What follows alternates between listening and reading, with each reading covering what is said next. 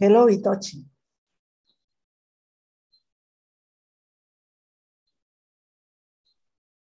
Hello. Hello, nice to see you. I'm here. Very good. Uh, George, whenever you want.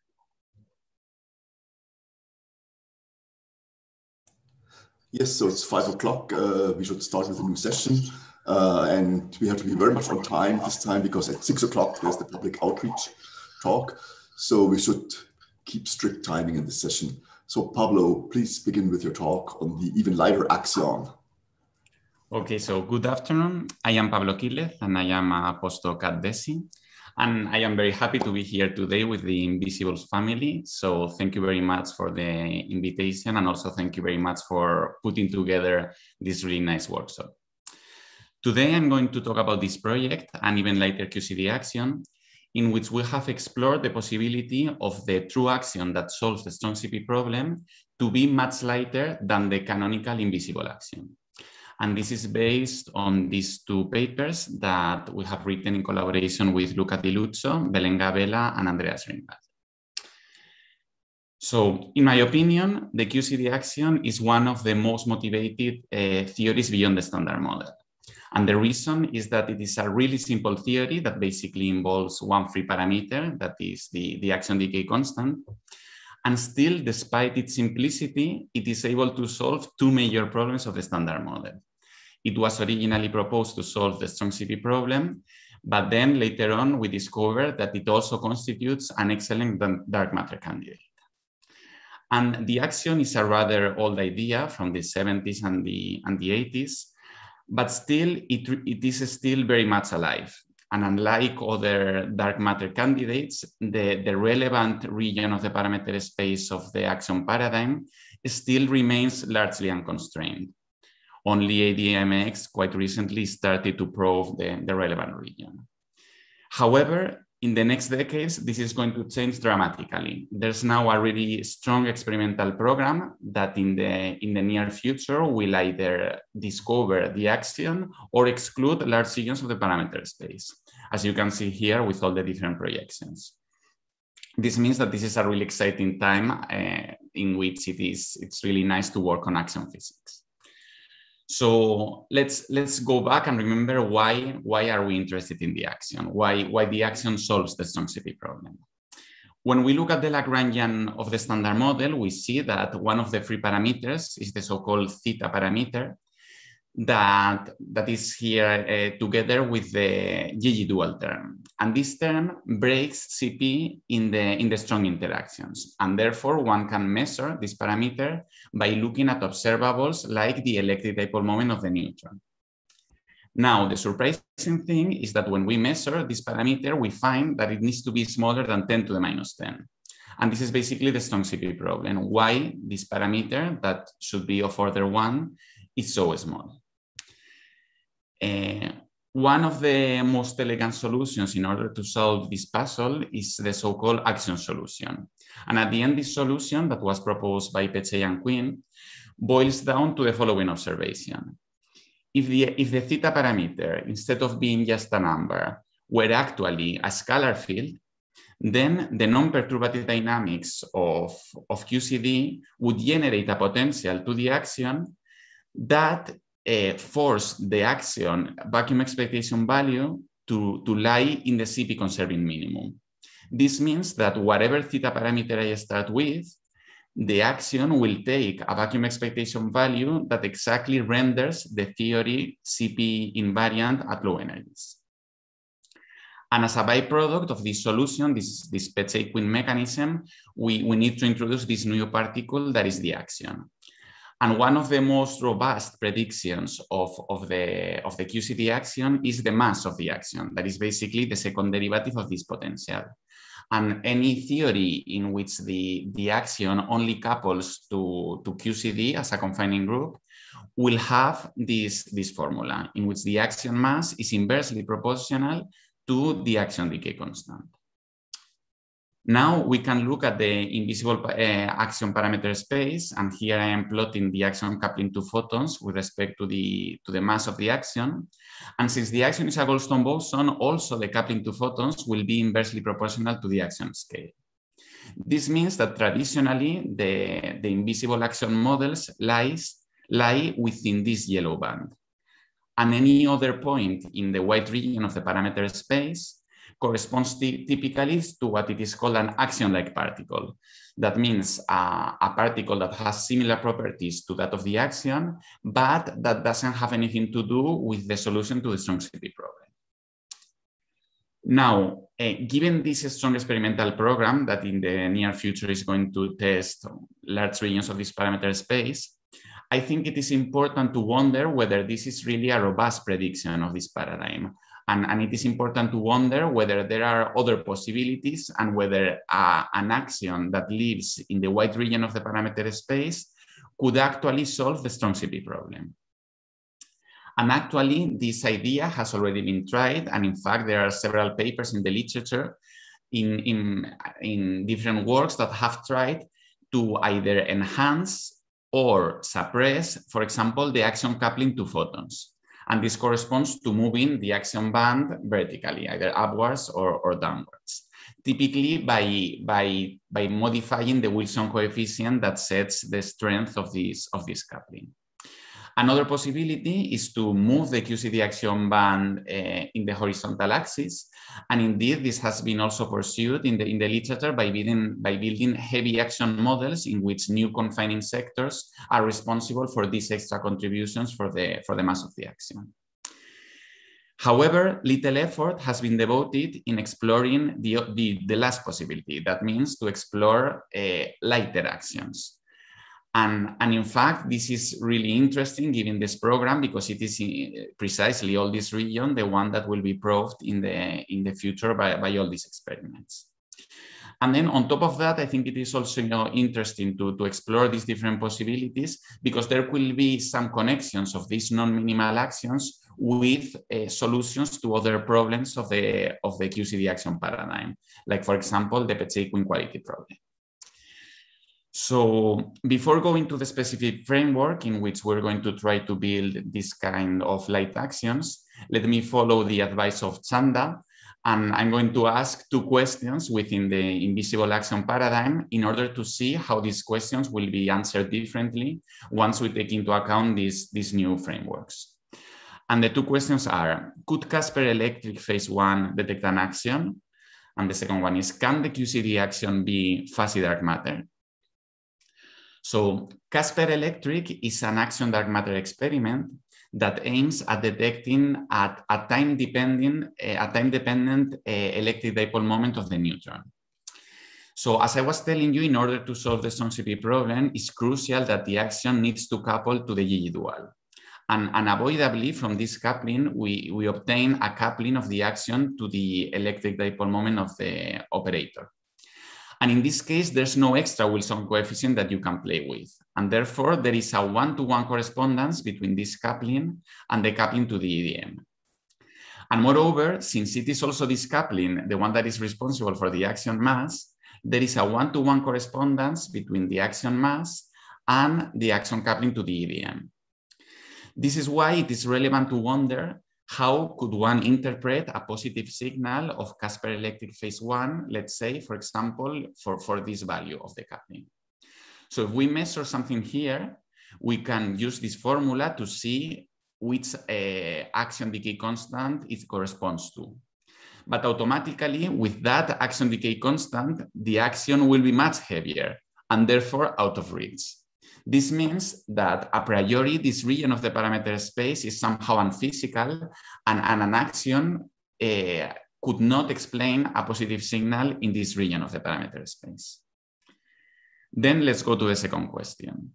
Can the QCD axion be fuzzy dark matter? In order to solve some, uh, some small scale structural issues of the cold dark matter paradigm, uh, some people have proposed that a really light boson could be the dark matter. And by really, by, by really light, I mean of masses of 10 to the minus 22, 10 to the minus 20 electron volts.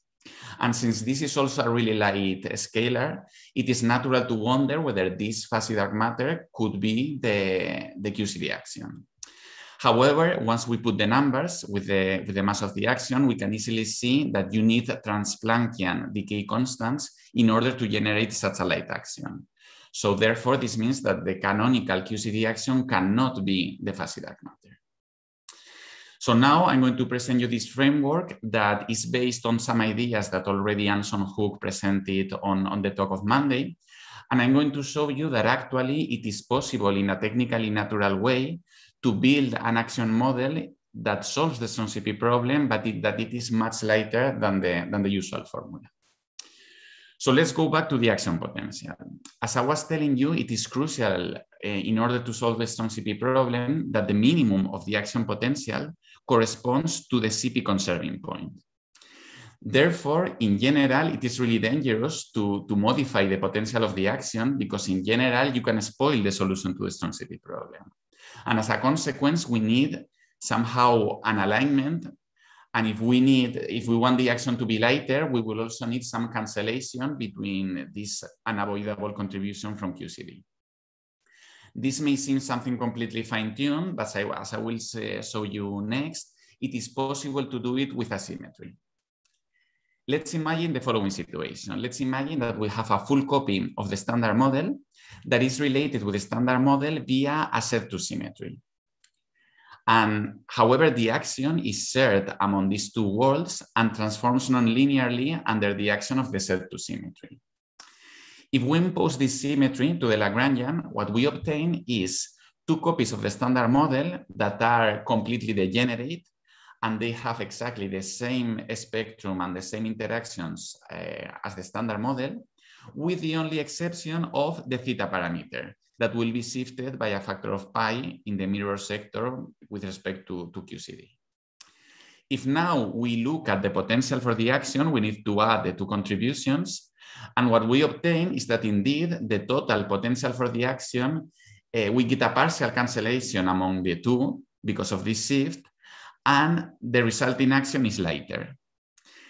However, this Z2 axion cannot work because it predicts a theta parameter of pi halves, and therefore this does not solve the strong CP problem. However, this general framework, this general idea can be easily extended to a Zn symmetry with an n number of walls. That again, these, all these walls are completely degenerate and have the same masses and interactions as the standard model, with the only ex exception of the theta parameter. So now we can play the same game and we can add all the different contributions. And we indeed get that if n is odd, we do get a minimum in zero. And therefore, we solve the strong CP problem with a really late axion. And in particular, one can see that the mass is exponentially small. So as I was telling you before, this, the, this mechanism was proposed by, by Hook three years ago in a completely different context. He was interested in solving the hierarchy problem. However, this idea can also be used for to get lighter axions, and this is what we have explored in these works. So now let's understand a bit better why this cancellation takes place and why this axion has an, an exponentially small mass. If one add all, if, if you add all the contributions from, from the different sectors, naively one would expect that the mass of the axion grows with the number of worlds, like this formula. However, this is not the case. There's some degree of cancellation, and there's an easy way of understanding why this cancellation is taking place. So if, if we look at the, at the, at the total potential of, the, of this axion, we see that at the end we are adding up the same functional dependence, but with a different shift here depending on the different sector. So now we can multiply and divide by this step, and now we can easily recognize that this sum is nothing but a Riemann sum. And therefore, this Riemann sum can be expressed as the corresponding integral plus some subleading terms. Now, the interesting thing about this kind of Zn symmetric potentials is that the integral does not depend on the axion. That is, this integral, that is basically an integral from 0 to 2 pi of a periodic function, adds up to a constant. This means that the potential for the axion is contained in the subleading terms.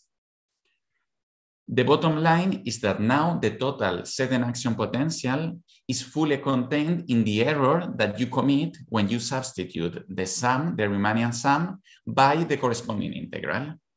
And there are really powerful theorems that tell us that for reasonably well-behaved functions, this error, this cancellation, is exponentially small.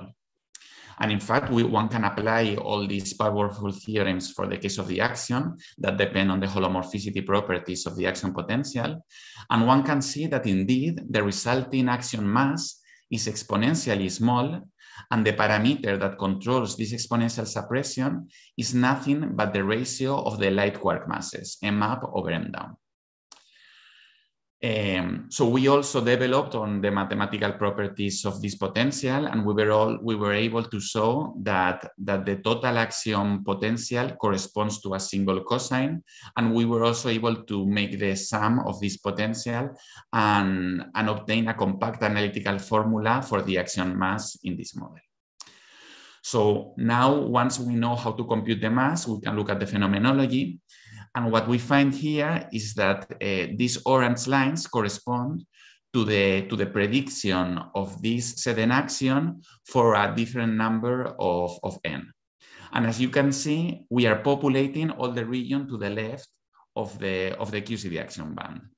And within this paradigm, even the region that will be proved by ALPS 2 could, could be an axion that solves the strong CP problem. On top of this, we were also able to build two UV completions of this framework.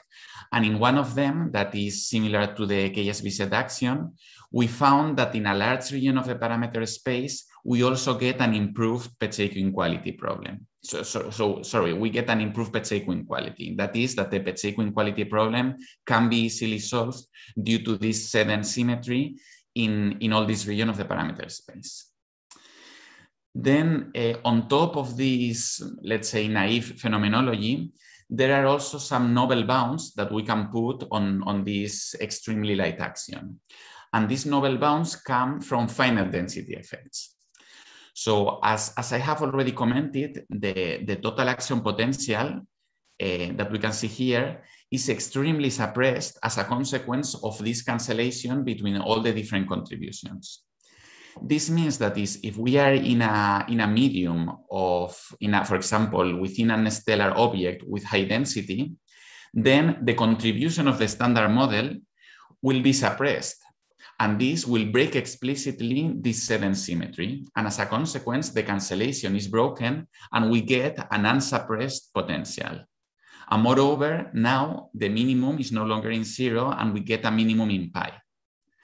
And this has, this has a really important impact because this means that in the surrounding of these stellar objects, the theta parameter won't be zero, but would be pi. And as a consequence, we can put some bounds from the sun, and also there are some projections from neutron stars, for example. And on top of that, the fact that the axion has a different vev inside these objects also generates long-range interactions.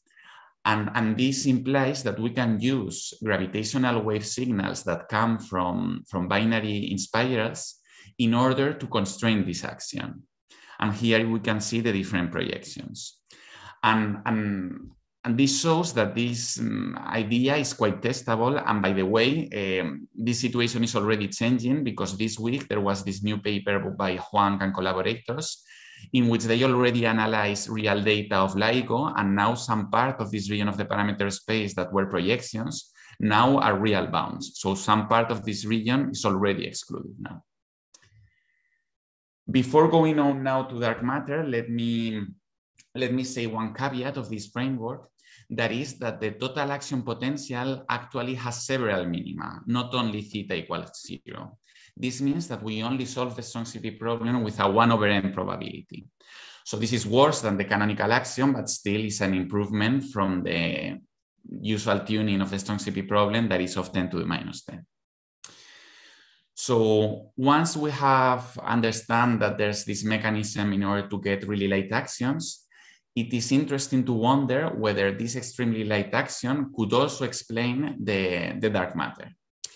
And, and indeed, we have shown that, that this extremely late axion can, can, can be produced in the early universe and that the, the way in which it is produced is different from that of the usual axion. So let me briefly review, review here the, one of the non-thermal production mechanisms of the, of the axion, that is the misalignment mechanism. You have about five more minutes. Okay, thanks. So yeah, so since I have five minutes, let me let me skip a bit this, the review. So the only thing that I want to say here is that in order to compute the axion relic density, that is basically an oscillating scalar field, uh, it is important to know when the axion field starts to oscillate because the moment at which the axion starts to oscillate will determine when we start to, to have this dilution factor. So, but then what happens with the Zn axion?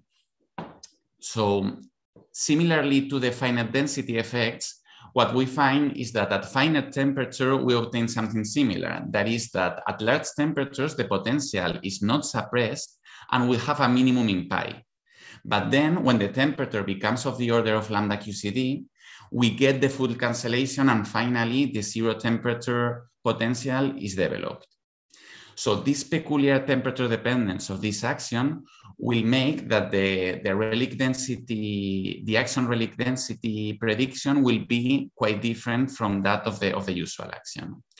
And this is what we have called the trapped misalignment mechanism. The idea is the following. At high temperatures, the minimum is at pi, and therefore the axion starts to oscillate around that minimum. And it is not until lambda QCD when the axion is free to oscillate around the true minimum. This effectively means that there's a delay with respect to the usual misalignment mechanism in which the axion starts to oscillate when the, when the mass of the axion is of the order of the Hubble parameter.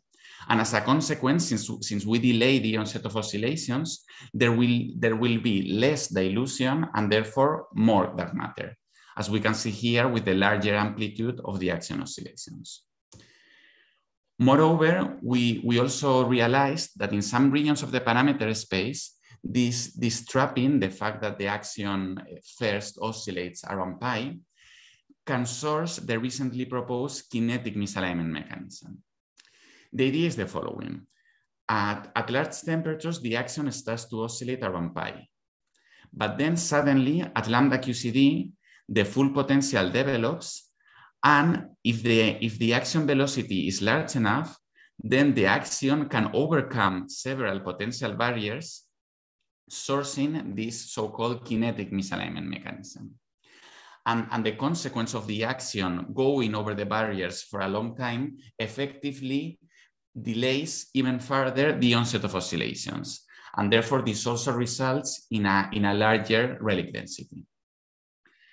So taking into account all these different effects, we these are the results in which we have we have obtained that in this purple region, the this extremely light axion can explain 100% of the dark matter relic density in all this purple region. So now we are ready to answer back the two questions that I was asking at the beginning. Could CASPEr electric phase one detect an axion? So now we have broken this usual relation of the axion and we have a new free parameter that is this number of walls. And moreover, we see that in this region of the parameter space that will be proved by CASPEr, we can produce 100% of the relic density. So therefore, we find that as far as we know, this is the first technically natural model that could explain a positive signal in CASPEr electric phase one. And similarly, this also constitutes the first fuzzy dark matter model that solves the strong CP problem because we are populating this region of the parameter space of with masses of 10 to the minus 22, 10, 10 to the minus 20. So with this, I arrive to my conclusions. In this talk, I have presented you a proof of concept that the QCD axion can actually be even lighter than the usual axion. And this Zn axion is the first of such examples. And this, this motivates interesting regions of the parameter space that will be soon proved by, by, by different experiments. And moreover, this axion can also be the dark matter. In particular, we have also identified a novel production mechanism that is this trap misalignment that in some regions of the parameter space can source the kinetic misalignment. And now let me end up with some caveats and outlook. So of course, within this scenario, n copies of the standard models is non-minimal. So it would be interesting to, to see whether this can be embedded in a more UV completed framework. And it is also a caveat that we only solve the strong CP problem with one over n probability. And regarding the outlook, I, we, we have identified this new trap misalignment mechanism that actually can be more general and it, can also arise in other, uh, in other models. And, and also we have focused only on the zero mode. So, so it would be interesting to study a possible axion fragmentation in this axion um, in this kinetic misalignment.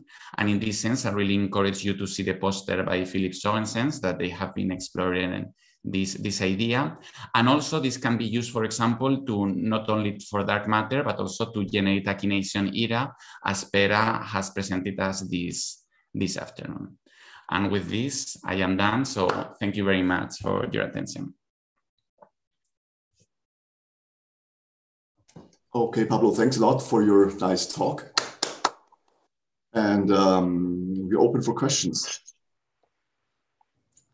Uh, Enrique, you have a question? I, I was just clapping and uh, my, ah, sorry, but I'm shocked by this flash yes, to the past. yes, Laura, having a question.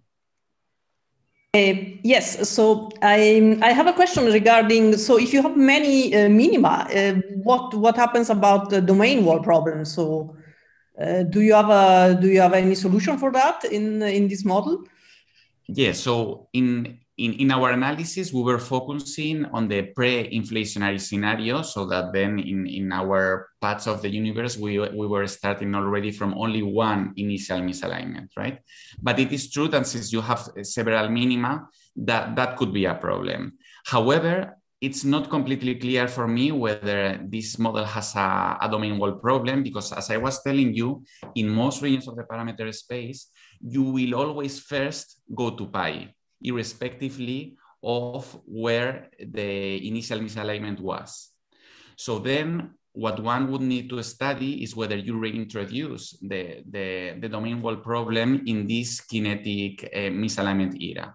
And in fact, this is an interesting question that in fact, I think that the, the group of Philip Sørensen that I was commenting together with Geraldine Servant are studying whether the axion fragmentation that you could generate in this um, in this kinetic period could produce large enough fluctuations in order to make different regions of the universe end up in different minima. So yeah, that's a good point. Okay, Arturo has a question. Hello, by the way. Hi, hi, Georg. Um, thank you for the very nice talk, Pablo. Uh, I have a, a question. So, um, you, you said that with these mirror worlds, you introduce um, copies of the standard model right? So my question is, uh, these these copies of the standard model will be sensible to gravity. So like, would they have an impact on the dark matter abundance? Ah, yeah. So that's a, so. In fact, so when starting this project, I, I realized that there's actually a lot of literature of people considering these mirror walls, right? And indeed, that there's a lot of papers that have tried to explain dark matter through these mirror baryons, for example. Because at the end, since you have a full copy of the standard model, you will have the equivalent baryons, right? And pions, etc. And, and yes, there's people that are trying to, to explain dark matter in this sense. However, it is not trivial because, so something that I didn't have a lot of time to comment is that in order to evade the bounds on n effective, you need that the temperature of the other walls is smaller than the standard model temperature.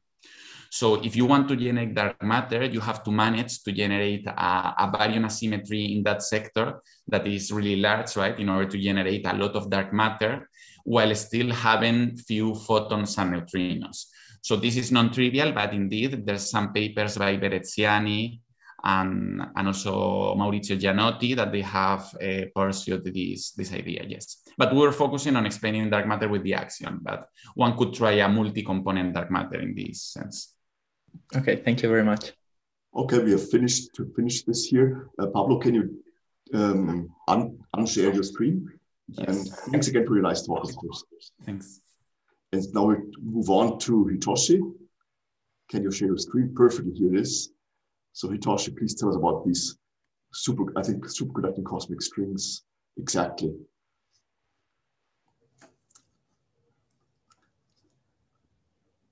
So you can you can start. Hello. Yes, we hear you. Do you see it full screen? We hear, we hear this is screen. We hear you. Just okay. Go ahead. okay, great. Welcome. All right. Welcome, so, so I'm I'm giving uh, a talk about basically two papers I, I uh, put out uh, recent, recently, one with uh, the Berkeley postdoc Hajime Fukuda and Ofri Telem, together with Aneesh Manohar from uh, uh, San Diego, and it's going to be published in JHEP soon. Another one with also two postdocs in Berkeley, Jeff Dror and Nick Rodd. This is now accepted physical review D for with the editor's suggestion. So the uh, first of my talk will be actually second paper on cosmic axion background, and second part on the superconducting axion string. So all of you have heard enough about axion already, so I'm to skip this.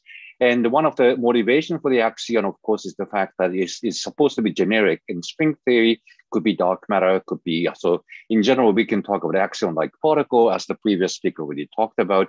So it is actually interesting to sort of generically think about how we may be able to detect axions through the couplings we normally assume when they are actually not part of the dark matter, and they're relativistic. So that actually brings up to this question of whether we can detect cosmic axion background. And there are several sources people did talk about of, of the relativistic axions. One of them is purely thermal, namely that if axion does couple to QCD, of course, that gets populated by the early quark gluon plasma, and, and that would be still present in the universe today. That is what is called the thermal axions. It may be, uh, the axions may be produced more recently in a universe when there is some kind of dark matter that can decay into axions uh, in the galactic halo. Or the, some topological defects like strings or domain walls could decay into axions. So one can talk about these possibilities as well. In the case of thermal axion, I have to say that it's actually very difficult to detect because of this very low temperature. So uh, the, the, it is believed that the thermal axion indeed is produced, and depending on the decoupling temperature of the axion from thermal baths, like TeV, MEV, and the current temperature, you, you predict a different spectrum and the size of the, uh, the axion background. And uh, the, you know, the, something like the current temperature, of course, is immediately excluded by delta N effective. You might say that the decoupling temperature on MEV might be actually preferred if you want to explain, quote unquote, the uh, H naught tension uh, but anyway, so these are the possibilities, and uh, one can ask the question whether they can be detected somehow. Another uh, source of the relativist axion I mentioned already is the potential decay of some dark matter, scalar dark matter, that could decay into a two axions, for instance. For example, if you go to some supersymmetric models, you always have saxion in the model, and saxion preferentially decays to two axions. So that's one candidate theory that actually does that. So if chi, a scalar, is a dark matter in the galactic halo, and that decays to two axions, and the axion would have a monochromatic spectrum, which is just a half of the mass of the dark matter. On the other hand, the, the, the, uh, the dark matter in the other galaxies at a higher redshift would have also decayed into axions, and the axion from those sources have redshifted by the time they reach, they reach our Milky Way galaxy. So they would add up to give you this continuous spectrum. And of course, lower energy correspond to higher redshift, where the axions emitted from dark matter decay. So that's yet another potential source for the relativist axions. And finally, if we have an axionic string, then that would lead to a substantial axion emission that have been known for already for many decades. And again, depends on decoupling temperature and axion decay constant, but uh, it does lead to this kind of rather broad spectrum of axion energies due to the nearly scaling behavior of the, uh, the cosmic strings. So having talked about these various sources of the potential relativistic axions in the universe today, the question is the technical one, whether we can detect them. So the only coupling we assume for the purpose of detection is the usual coupling of axion to E dot B for the electromagnetism. And the kind of detection strategy people do talk about is the case of axion as dark matter in the galactic halo. So in that case, the axion is more or less at rest with relatively low velocity, uh, which is given by basically the, the, motion of solar system in a galaxy, a very velocity in a Milky Way galaxy, so that the axion comes with a narrow frequency. And the frequency, of course, corresponds to the energy of the axion using the Planck constant. And energy is given by the rest energy of the axion plus the kinetic energy. And because the velocity is much smaller compared to the speed of light, then this second term is rather negligible compared to the rest energy. And therefore, you would expect the axion signal to come with a frequency which basically corresponds to the rest mass of the axion. And there is a little bit of spread due to this uh, velocity profile, which is actually substantial, even though it's 10 to minus 6 in the energy, uh, given the high, very high Q value of the cavity experiments people talking about with the incredibly narrow range of the resonant detection. So the axion experiments do focus on this very narrow frequency range to look for the resonance and scan the resonant frequencies in looking for the axion. But as I mentioned already, relativistic axion tends to have a spectrum that is spread out in frequencies because their energy is now spread out. So it can hit multiple resonant frequencies in this kind of experiment when they scan. So the signal is not focused on one particular run with one resonant frequency, but turns out to be common over a range of resonant frequencies during the scan. And interactions need to be worked out also without assuming non-relativistic motion of the axion, because they are relativistic. So we have to actually look back at the equation's motion in what way the electromagnetism can couple to an axion when you don't assume that they are necessarily non-relativistic. And so we talked about the frequency over here, which basically corresponds to the energy of the axion. But when you do an actual experiment, you're looking at a time domain instead of frequency domain. So in the case of matter axion, what are you're looking for is the fact that axion field is coherently oscillating with a fixed uh, time interval, namely that corresponds to frequency, which is the mass of the axion. And uh, you can ignore the spatial the, the, derivative of the axion in the non-relativistic limit because the spatial derivative corresponds to momentum, which is the mass times velocity, which is already suppressed by 10 to minus 3.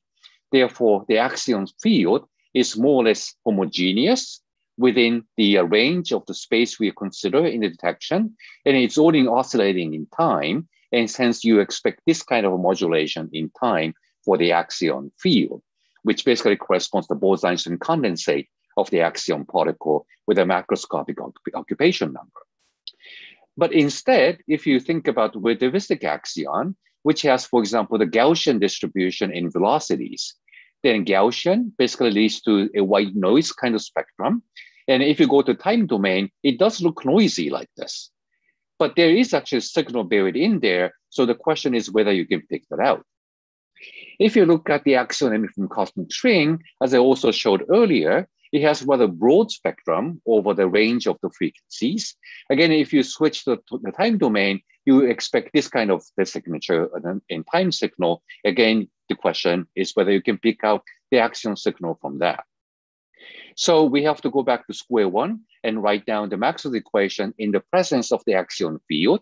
As I mentioned, the axion coupling to the electromagnetic field is given by GA gamma gamma A and B dot E. And then if you actually write down the Maxwell equation in the presence of that term, you find these additional pieces that involve the axion field as a source in the Maxwell's equation. And when you make a non-relativistic approximation, as I mentioned already, that spatial derivative means spatial momentum, which is suppressed by the velocity of the axion and therefore you tend to ignore those. And you are only picking up the time dependence of the axion field as a source of the electromagnetic signal. And that's the way you actually derive various uh, signals on experiments. But we can assume that in this context because the axions may be non-relativistic. And if they're non-relativistic, the spatial derivative, which is mass times the velocity, is as important as the time derivative, which is a mass itself. So we have to keep all of these terms in the discussion. And you have seen this kind of picture already many times on the range of the experiments that probe the QCD axion. We are not necessarily talking about QCD axion in this part of my talk, but anyway, so there's a still wide range of parameter space we'd like to explore, for example, using ADMX experiment. So if you have the ADMX experiment already running probing the dark matter axion, can you actually also pick up with the relativistic axion at the same time? So that will be the discussion for the remainder of the first half. And this is the ADMX, this is HAYSTAC, and these things are based on the resonant cavity experiments. So in this case, what are you're looking for is a detection of individual axion coming into the magnetic field, converting into a single photon that gets captured by the resonant cavity. So it doesn't require coherence of the axion field for this purpose. Even though people do assume it's coherent, it doesn't matter for this kind of experiment. On the other hand, for the axi- uh, CASPEr electric type of experiment, you really have to pick up the axion field oscillating, which gives you the time-dependent electric dipole moment of the neutron. So in this case, the coherent nature is actually very important, which you don't have in the case of this incoherent relativistic axion experiment. On things like ABRACADABRA and the dark matter radio, you can still pick up this kind of relativistic axion signal. So once again, you are looking for the source of the electromagnetic field of the axion time dependence. And by having this magnetic field, this axion depend, the time dependent axion field would act like the time dependent current in the toroidal magnet that would give away to the time dependent magnetic field, which you would like to pick up by squid or something. And this time dependence is still there. So you can hope to do a detection of relativistic axion in this context as well. So if you think about this dark matter decay source of the relativistic axions, you're talking about this dark matter decaying to relativistic axions. And then you do have this, uh, the spectrum of the axion, as I mentioned already earlier, which consists of the monochromatic peak for the galactic source and the long tail from the high redshift sources. And uh, this is again the time temporal signature where you hope to pick up. And it turns out that you can actually do so for a range of the decay lifetime of the dark matter axion. And another interesting possibility here is that, of course, dark matter signal is dominated from a decay towards the galactic center. And if you have an axion detection experiment sitting on the surface of a planet, that rotates towards the galactic center part of the day and moves away from the galactic center for the rest of the day. So you can expect actually daily modulation in a signal, which again would be a very interesting signal to look for. Finally, back to the situation with the cosmic strings, then depending on the uh, decay, uh, uh, uh, uh the, uh, sorry, the, the, the um, uh, the temperature of the uh, decoupling of axion, you can actually expect this kind of sensitivity looking from uh, the ABRACADABRA experiment, assuming the 100 um, uh, cubic meter of the volume, where you can do better than this delta effective limit I mentioned earlier and cover part of the parameter space. So the, uh, the basic, uh, the summary and the money part of this part of my talk is that you, you can think of a variety of sources of the relativistic axions, which you hope to detect, and in the case of the source from uh, the uh, dark matter decay, then you do have sensitivity for a range of the, the dark matter lifetime of, uh, by the ADMX experiment. And for those Gaussian sources and cosmic strings, you expect to have some, some sensitivity in a DM radio experiment. So the relativistic axions uh, should not be at least ignored. And the ADMX people have already expressed interest in coming up with different analysis strategy to pick up this kind of signature because as I said already, it's not limited a particular bin in the resonant uh, frequency scan, but it's actually common to many actually uh, scanning frequencies. And that kind of signal had not been looked for in the data set. So in principle, that kind of signal could be right now hidden in the data set, which is waiting to be picked up a, by a new analysis technology technique. So this is the part of the, uh, the conclusion of the first half. The, the cosmic axion background detection is not easy. We haven't certainly not detected cosmic neutron background either. But in principle, this kind of signal may already be hidden in the current data. And it, the thermal axion looks actually very difficult, as you saw, but there's a potential possibility for detecting the axion from dark matter decay and strings. And I emphasize again that requires different analysis strategy and then potential daily modulation is a good signal looking for that. Now switching to the second half of my talk on axion string, and axion string had been talked about again for many decades, but it turns out that somehow had been forgotten that axion string is generically superconducting. And I also tell you what I mean by that. So in this part of my talk, I'm specifically talking about a QCD axion. And I don't need to remind you that axion is actually a Goldstone boson of spontaneous broken U1 symmetry. And if we have the simple spontaneous breaking of U1 symmetry, generically, that would create a cosmic string by the Kibble-Zurek mechanism. And for this, it requires that the symmetry breaking happens after the inflation to make sure that the strings are not inflated away. But at the same time, we also know that U1 Peccei-Quinn symmetry has to be a anomalous under QCD, otherwise it doesn't solve the strong CP problem. The strings are ultimately unstable and they all decay. And if there's an exact non-anomalous ZN subgroup of U1 Apache symmetry, I okay, I see that there are 10 minutes left. It would also lead to domain walls, which is the question uh, Laura Covi asked already. So we have to avoid that because the domain walls will dominate the universe that will lead to a disastrous situation as far as the cosmological evolution goes. So what that means is that we cannot have an exact non-anomalous Z2 symmetry, which immediately excludes DFSZ axion. So for the purpose of this talk of having this axion string present and produced after inflation, you have to assume it is KSVZ axion. And in particular, you have to assume a minimal Peccei-Quinn fermions of just one triplet so that there is no non-anomalous exact ZN symmetry and therefore no domain walls. The only thing you get are axion strings. And it had been well known that the strings would reach a uh, nearly scale invariant behavior because the string energy is proportional to the length. And it starts out with this complicated network produced by Kibble-Zurek mechanism, and it's trying to simplify itself. But as it tries to simplify itself, new strings come into the horizon from outside, which may also have a different configuration. So it has to keep simplifying itself, eventually reaching this uh, nearly scale invariant behavior.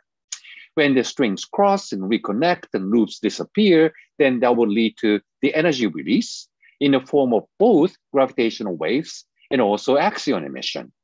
It has been known that gravitational wave emission is subdominant co compared to the emission of axion itself, because obviously axion is coupled by one over decay constant, which is much lower than the M Planck, which is the coupling of the gravitational wave.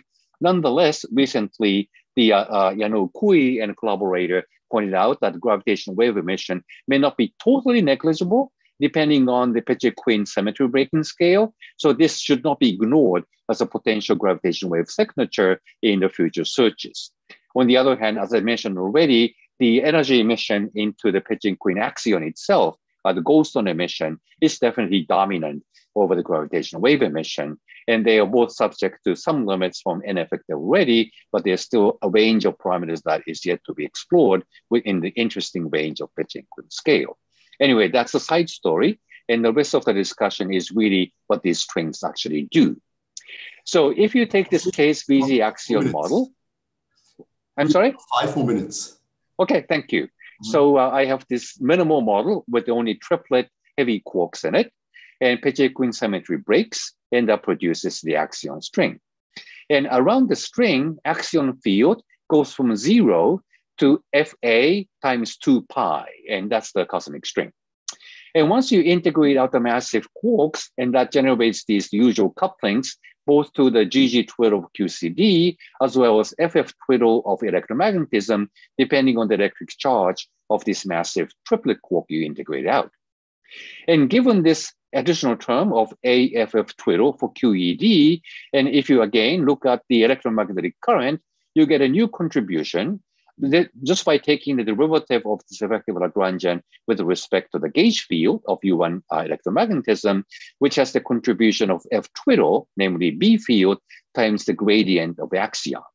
The point here is that the gradient of axion doesn't vanish at the center of the, uh, uh, uh, uh the string, so if you naively take the divergence of the electric current, that will pick up actually the uh, del mu del nu of A, which is delta function at the center of the string. Therefore, it doesn't seem to be conserved. And that's, of course, a problem because we want electromagnetism to be consistent theory with a conserved electric current. So we somehow need to deal with this delta function source of the electric uh, current, uh, which is located at the center of the string. And this is actually not a paradox because whenever you actually have this apparently non-gauging behavior, which has to be canceled by a long distance physics, namely that that implies the massless chiral fermion on the string that cancels this anomalous effect. And this is a very similar situation to the edge state in fractional quantum Hall effect. Uh, the bulk Lagrangian consists of the Chern-Simon theory. Engage derivative of the Chern-Simon gives you actually a F mu nu on the boundary, which is canceled by this massless chiral fermion, which is running around on the edge of the quantum Hall state, which is actually chiral anomaly, which violates the gauge invariance, and they perfectly cancel against each other. Namely, the presence of the apparent chiral anomaly guarantees the presence of a massless fermion, which should cancel the anomaly, and therefore the presence of massless fermion is required. And if you go back to UV description, the presence of such a massless fermion is nothing but the zero mode of Peccei-Quinn fermion massive Q, which is localized on the string, which had been known from these people, but somehow this had been only focused on this kind of formal theory community had not been percolated much into the phenomenology community, but we need to understand the phenomenological consequence of that. So having this massive fermion, which is chiral on the string, leads to this idea that axion string generically is actually superconducting. So massless chiral fermions the string leads to this behavior that divergence of the current is actually localized on the string, which is proportional to the source, which is given by the electric field. So once there's electric field along the line of the string, and that would actually induce the uh, electric charge that builds up over time. And because this is actually a massless fermion, the amount of charge buildup is equivalent to the amount of the current that is induced. And this equation is nothing but the London equation for superconductivity, and hence this is a superconducting string. But the current buildup would eventually stop because of dissipation. Given the fact that you have these heavy quarks produced after inflation with non-trivial Peccei-Quinn charges, you need to make sure that they don't overclose the universe, namely that they have to somehow decay into the standard model, which means that this heavy quark should have some kind of Yukawa coupling that will allow them to decay into the standard model quarks. So what that in, in, in turn means that the, uh, the light quarks or Higgs can hit the zero mode on the string and basically knock them out into the bulk. And that would actually dissipate the current and charge buildup on the string. But this, this dissipation effect would eventually stop below a certain temperature where the plasma would end up having a lower temperature than the mass of this heavy quarks it is supposed to knock out from the string. So you can go ahead and estimate the temperature, which is actually a relatively low, something like 100 GeV for typical parameters. Now, if you in, in addition assume that there could have been primordial magnetic field and early universe, and this is motivated by the fact that the origin of intergalactic magnetic field of the order of 10 microgauss is not understood, and possible primordial sources have been talked about, like coming from phase transition or inflation, electromagnetic phase transition, so on. And if you do have strings moving in a magnetic field, Lorentz boost would make the magnetic field appear as an electric field in the rest frame of the string, and therefore that would lead to this current buildup I mentioned earlier.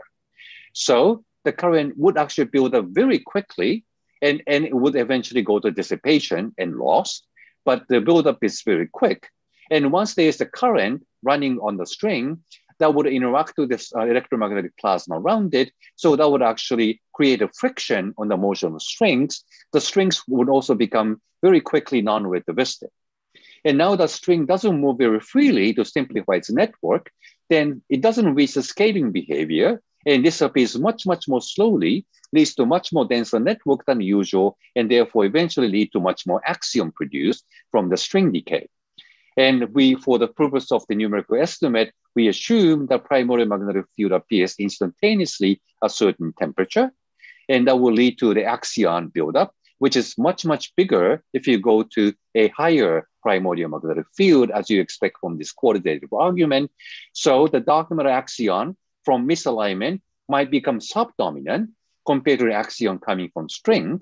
And even for a very low decay constant, like 10 to 7 GeV, you may already get a substantial amount of non-relativistic axion to give you the right abundance for dark matter. So the range of the mass you will be looking for will be drastically different in that situation. And once again, I'm showing how much enhancement you might get compared to typical dark matter estimate for misalignment versus this uh, uh, origin from the cosmic string. And so uh, this will be actually a very interesting source of a uh, axion coming from the string if there is a primordial magnetic field. So one minute left. So axion string is superconducting generically, which had been somehow lost in the literature, had been forgotten, but it's true. And such an axion string to be relevant for phenomenology, it needs to be produced after inflation, therefore requires minimal KSVZ model rather than DFSZ. If, if there's a primordial magnetic field in addition to the axion strings, it will lead to charge buildup, creates a friction in string motion, leads to much denser network cosmic strings, and therefore enhances axion abundance. And the consequence of superconducting string had been studied and look, looked at only very recently. So there could be well more other consequences of interest that has not been studied yet. So that's the end of my talk today. I finished right on time. Thank you. Hitoshi, thanks very much for a nice talk. So uh, I see, I think a first question by Pablo. Hi, thank you for the nice talk, Hitoshi. I was Hi, wondering, hi, can you hear me? Yes. Ah, sorry, yeah. So I was wondering whether there's a, a possible source of this cosmic uh, axion background at, at larger frequencies, let's say of the order of the order of electron volts, because that would be interesting because maybe it could be seen in light shining through wall experiments that use lasers. So do you think there's any production mechanism of such large frequencies? So you're talking about this uh, first half of my talk, where I talk yeah, about the, the relativistic axions? Okay, so I can show you the, some of the plots again. So here we talked about the axion energy only up to like, like a millielectron volt or so. Yes. But in principle, of course, from the axion decay, it just depends on the mass of the dark matter. And if dark matter mass is well above EV, of course, that will lead to the axion, which is, has a monochromatic peak at the half the mass of the dark matter. So in this case, we didn't consider those but in principle that could exist. And we don't are not aware of any experiments that would be looking for the axion frequency of the order of EV. That's why we didn't actually look at that. But if you are thinking about that kind of particular experiment in principle, that could be interesting. So source yeah. can be there depending on the scenarios you come up with. Uh, the, the question to me is whether there's a, a, a, a viable experimental strategy for it. Yeah, so in this case, it wouldn't be a haloscope, but I was thinking of light shining through wall that they use lasers. So it would be nice to see whether you, in the regeneration cavity, you suddenly get axions that don't do not come from the from the laser you started with, but actually from this uh-huh. cosmic axion background, right? I don't okay, know. yeah, that's possible. Yeah, that's definitely possible. Yes. Mm-hmm. Okay, thanks. That's a good idea, indeed. Yeah. There's another question by Pranjal. Thank you, Pablo. Hello, Hitoshi. Yeah, thanks for a really interesting talk. Um, it's quite interesting to see how the primordial uh, magnetic field can affect the stringed axion abundance. Um, uh -huh. My question is that the primordial sort of magnetic field will have some uh, you know, coherence scale, which will depend uh -huh. quite a lot on the origin. If it's from like a right. phase right. transition, it might have a very small uh, sort of coherence scale. And also it'll evolve in a kind of way that depends on turbulence in the early universe. Right. Have you right. looked at the effects of these on how the primordial magnetic field will interact with the string uh, you know, network? Because that could drastically change that interaction and then change the axion abundance. Yeah, for the plots I have shown today, we made a rather conservative assumption that the coherence length is only such that it can account for sort of the range we see in intergalactic magnetic field. So it's actually not ah. uh, very long. Uh, so that mm-hmm. corresponds something like on a megaparsec scale. Okay. Mm-hmm. Mm-hmm. I see. So um, this is related to you know the lower bounds on the intergalactic That's right. magnetic field right. from you know the Fermi observations. Exactly. Okay. Great. That's the number we used. Yeah. Okay. Thanks. Okay, I'm afraid we have to cut short here, but we finished the questions. You're sharp on time for the popular talk. I think I hand over the chair to Olga Mena.